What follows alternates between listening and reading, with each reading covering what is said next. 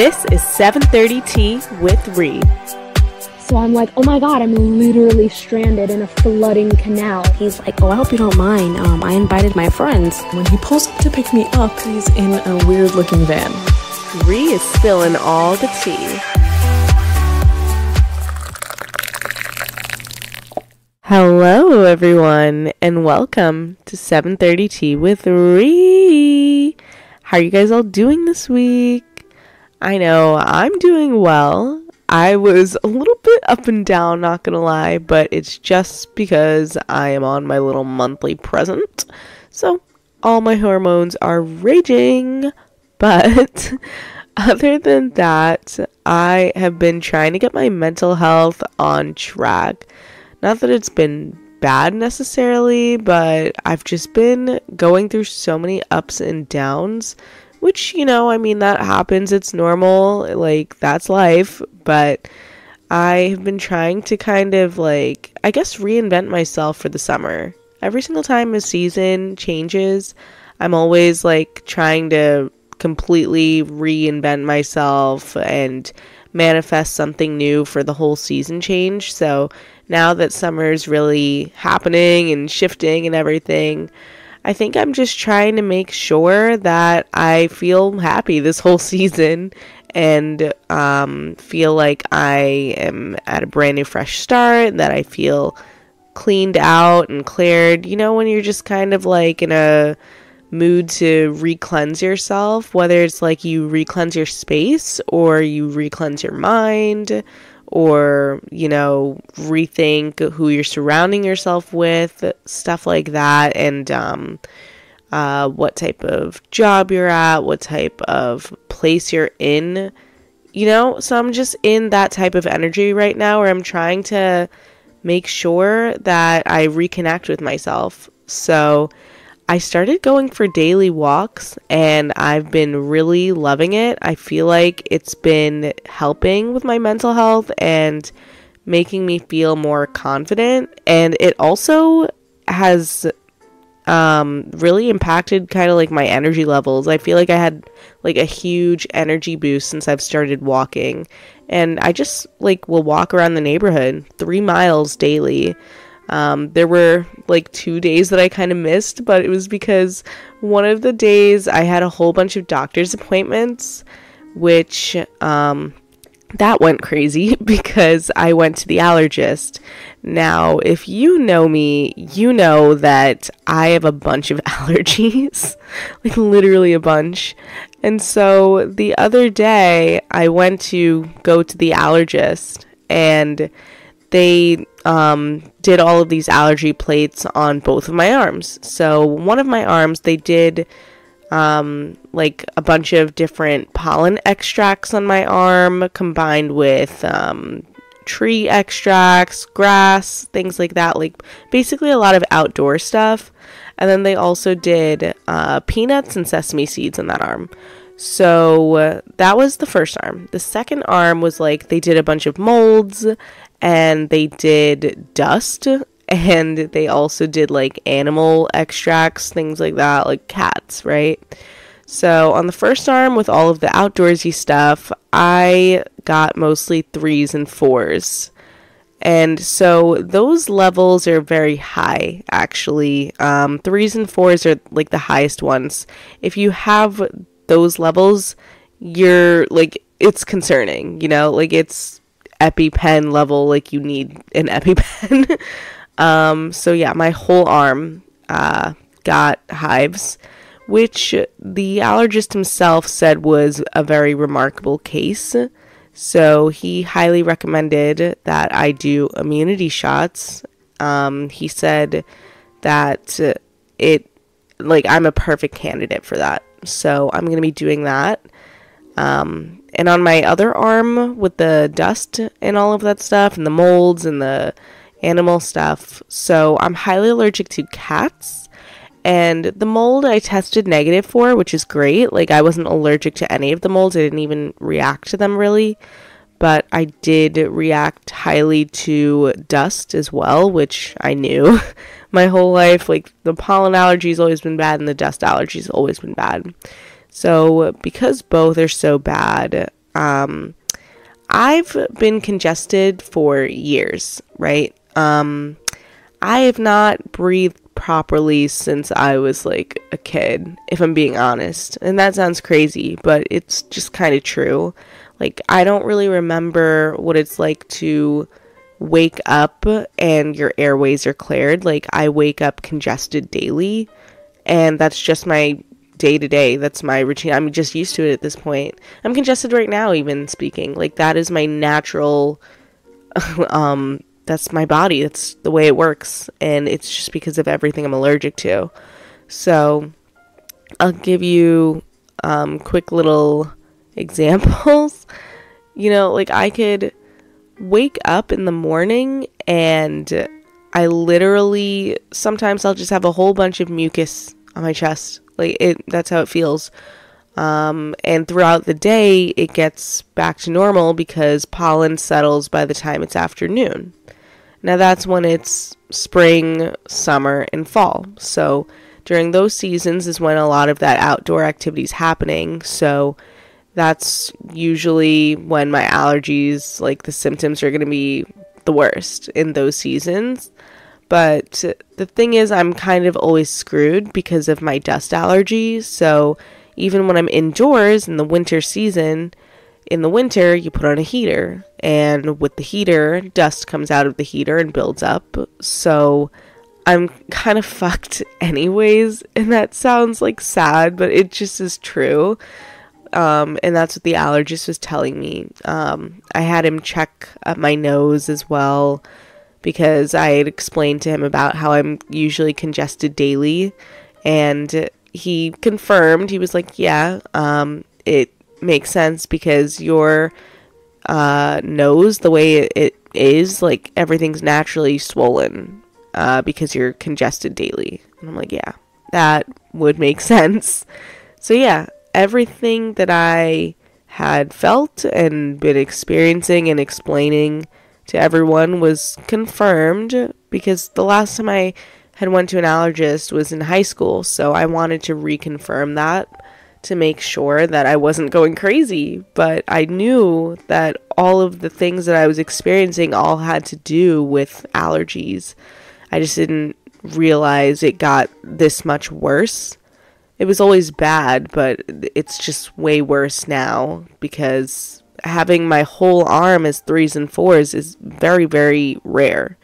So, yeah, I'm kind of a rare case, but I'm excited to be put on the immunity shots soon. So, yeah, I'm trying to just get my health right as I was telling you guys. Um, I'm trying to get my mental health right and also my physical health. So, now I've got EpiPens, I've got a new inhaler, I've got stronger allergy meds, and I've got um, two different types of nasal sprays that are much stronger than the one I usually use. So, yeah, I'm excited. I am because maybe someday I'll be able to wake up and breathe clearly. So I'm hoping that's the case. But aside from all of that, I've been having fun. I got to go out this weekend with my sister. That was a fun time and I actually got a few little stories because I brought my little anonymous book with me to try and get stories out of some people or little anonymous secrets. So I got a few of those when I was out.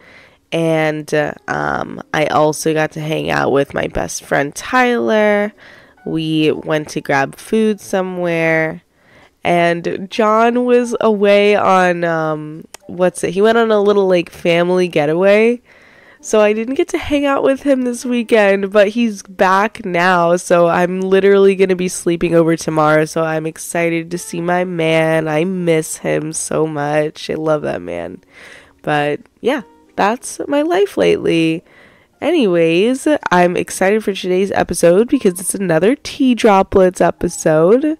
So we're going to be getting into that and if you are new here and you don't know what tea droplets is, tea droplets is basically this little segment that I do where people send in um, like short stories, like very, very short. Like it could be literally a few sentences long where you just tell me like an anonymous secret, like a quick little blurb. So that's what tea droplets are. They're like little pocket sized stories.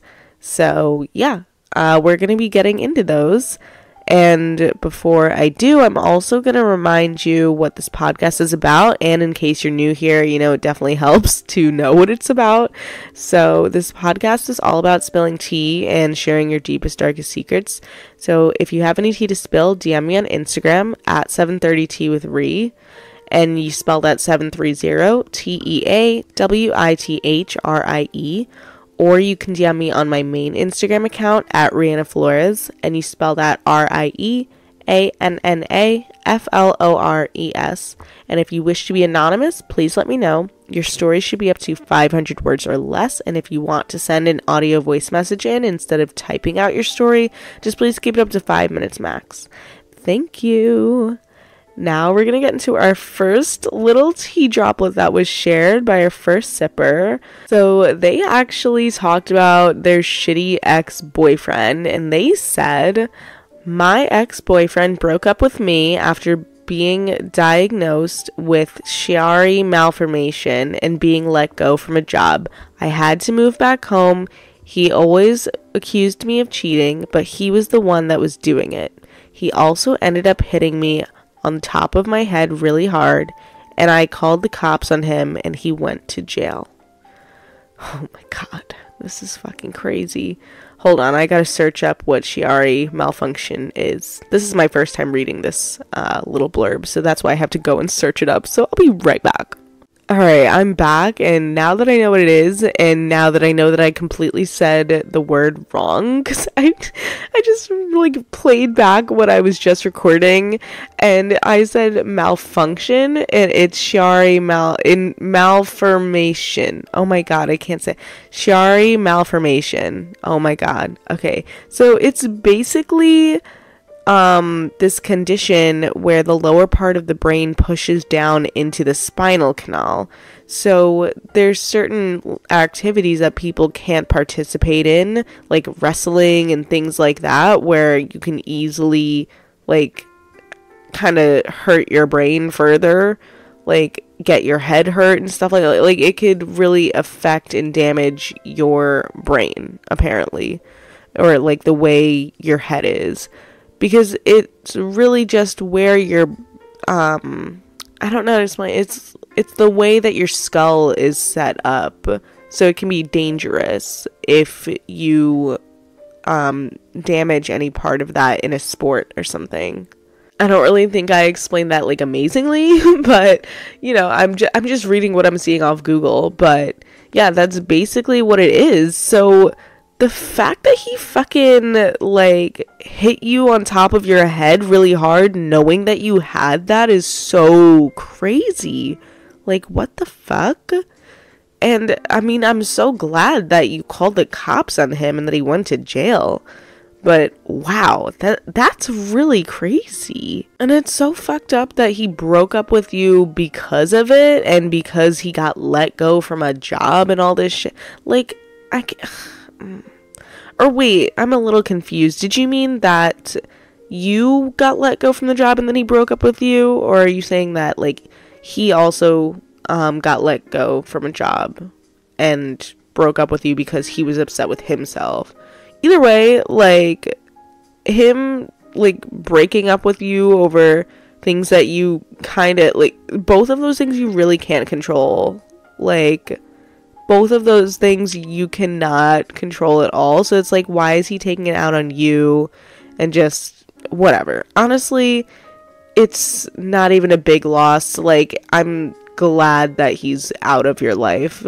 Like, it sounds like you needed to lose him because it sounds like he was already crazy as it is, especially the fact that he would always accuse you of cheating. Meanwhile, he was the one doing it, and then he hit you really hard in the head like knowing that you you have Chiari uh, malformation. I really hope I'm saying that right, but um, ew, what a little fuck. Fuck him. You're way better off. I am so glad that you guys are over. And yeah, on to the next little blurb because ew, this is irritating me for her that he really did all of that. That's like the audacity is so crazy.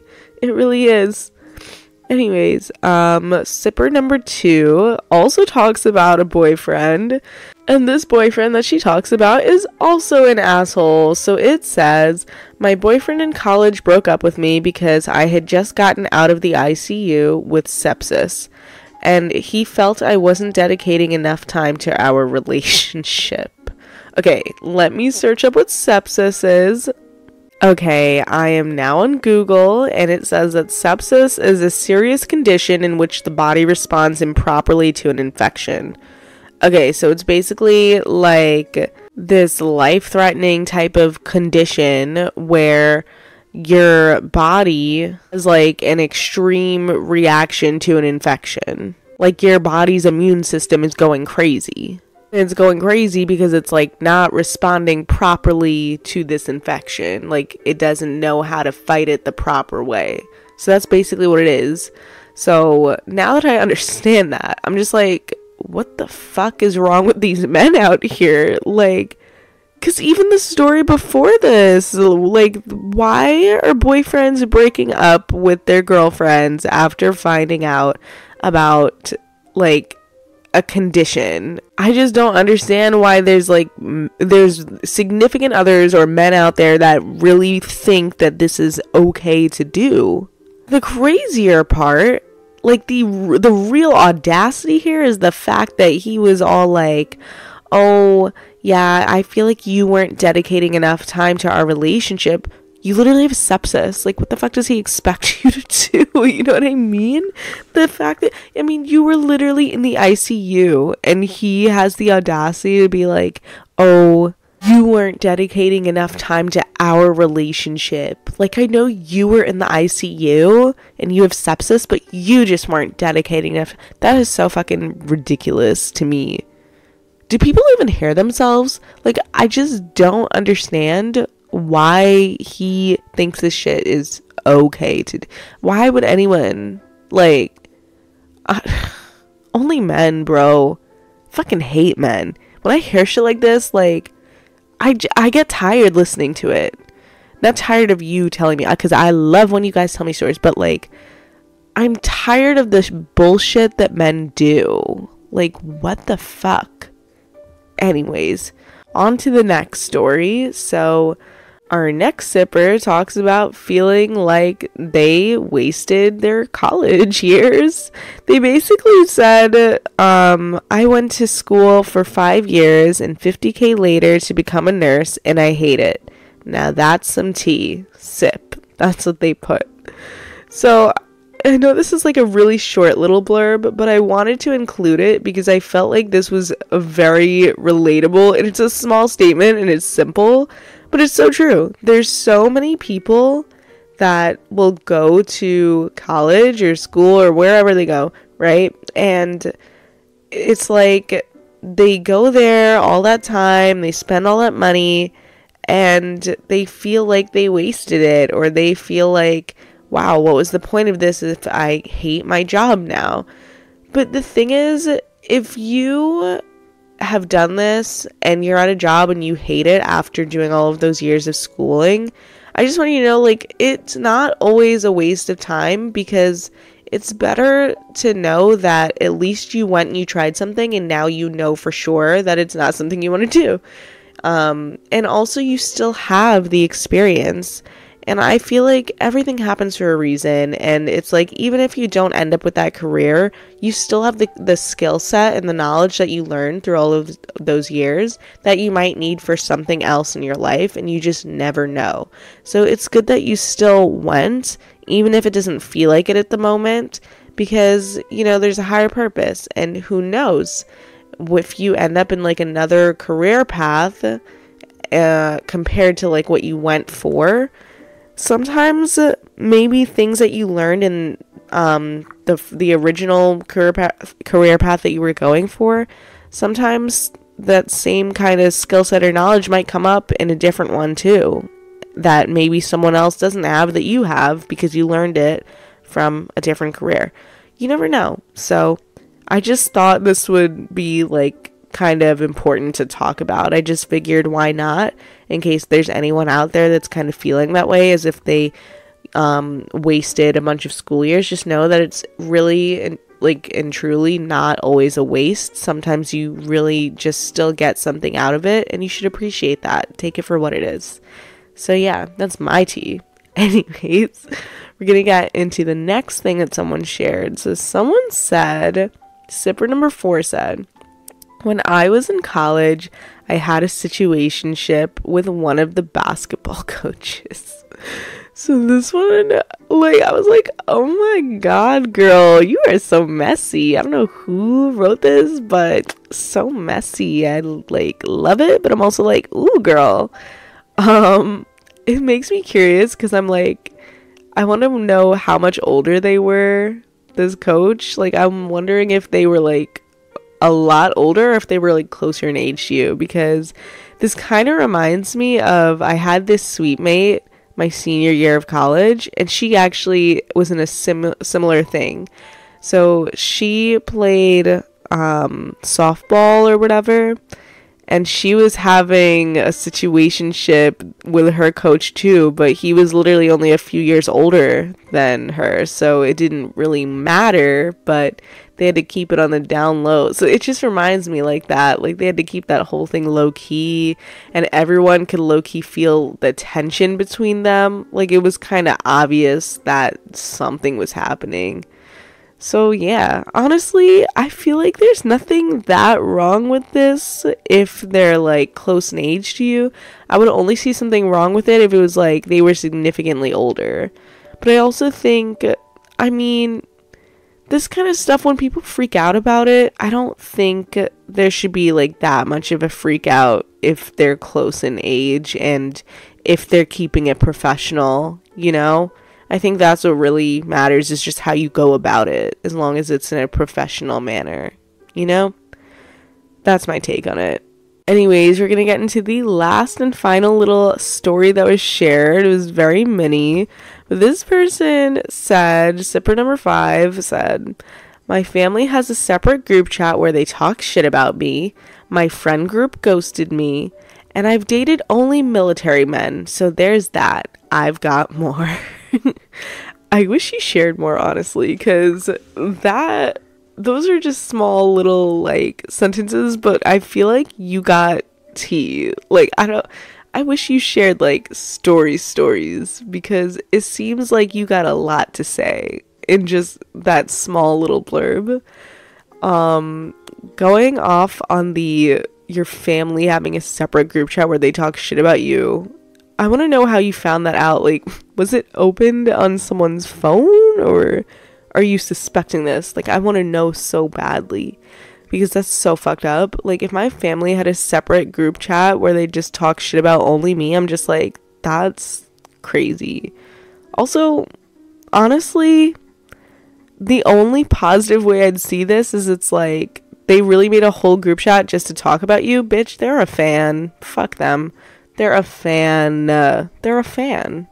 Um, and the second thing that you talked about, you mentioned that your friend group ghosted you. That's crazy. Who has the time to do that in that way? Why didn't they just talk to you about it? I don't I just hate that. Like ghosting in general, I really do actually hate because it's like you really don't want to put in the effort to talk. Like you don't want to just communicate. I honestly think it takes more effort to ghost someone. And maybe that's arguable because like yeah, you're just not talking to them anymore, but I actually think that takes more effort because you're sitting there with your guilt because you ghosted someone and you're sitting there overthinking like oh like well what if I sound mean or what if I sound this or what if I sound that like stressing about whether or not to confront someone, so you just ghost them. It's so much easier to just talk it out and you get your feelings out, and then you could just stop talking after because you got your feelings out. I don't think it makes any sense to just completely ghost someone with like no explanation. It's just so stupid to me. It's so high school. Like, ugh, stop living in the past. Hate that. Um, and the last thing that you said, you said, I've only dated military men, so there's that. Girl, I've heard so many stories about military men. They are fucking crazy. Absolutely crazy. And I don't want to stereotype all of them because, you know, like, not all of them are bad, but like, most of them are.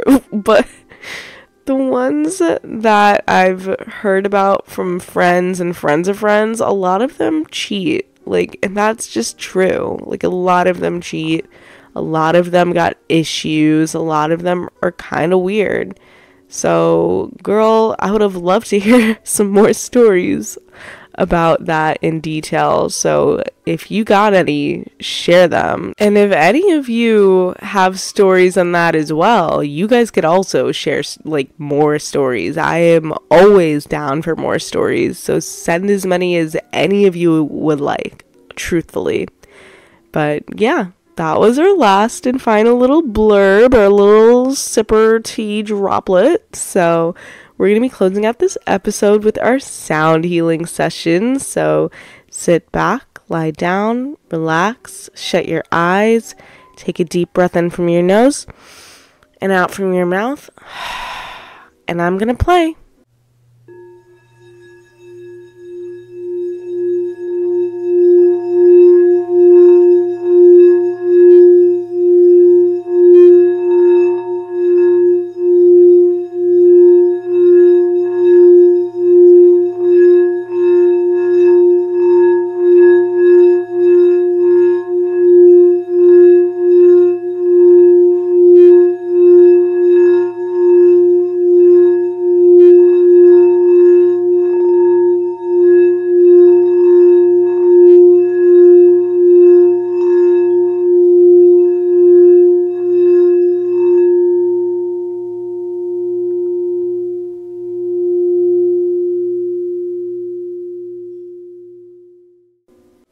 You guys, thank you so much for joining today's episode. It always means the absolute most to me.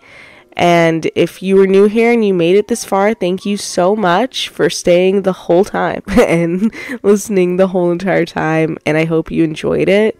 I hope you come back. And if you have not subscribed or followed me, what are you doing? Go do that right now. Absolutely right now.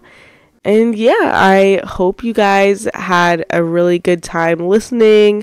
I always appreciate when you guys join and listen to these episodes. So thank you so much for being here. And um, I hope you guys all have the bestest week ever. I love you all so much, and goodbye.